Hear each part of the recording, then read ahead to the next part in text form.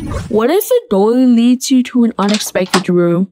Welcome to Desultory Doorways, a puzzle but on non-Euclidean geometry. I will show the gameplay, then explain the math that breaks Euclid's rules, and also share some game dev highlights. Your goal looks simple. Reach the glowing portal. Moving feels normal until it doesn't. Doors stitch the map in impossible ways and they can fold back on themselves or jump you to another room that may be far away.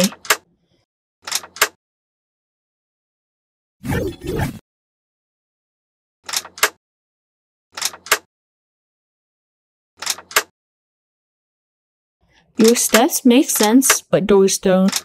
Find the exit and the maze reknits itself. Escape as many levels as possible before the timer ends.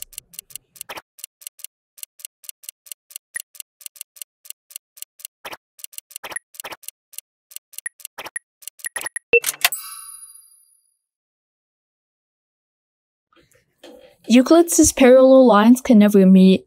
We break that by giving certain doorways identity maps that glue two distant edges together. The grid becomes a topological surface, like a Klein bottle.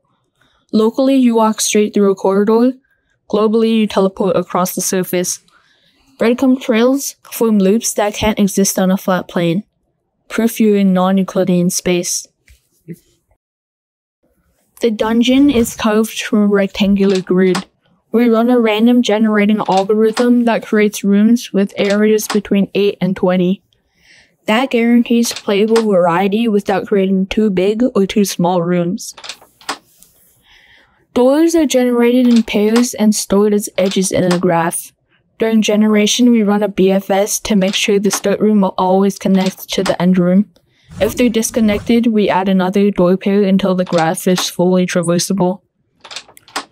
Doors have three states, regular, activated, and used, depending on the player's distance to them and if they were recently used. That's the tiny non-Euclidean maze, a micro puzzle where logic, not distance, is your enemy. Play it for free on itch.io. Thanks for watching. See you in the next video.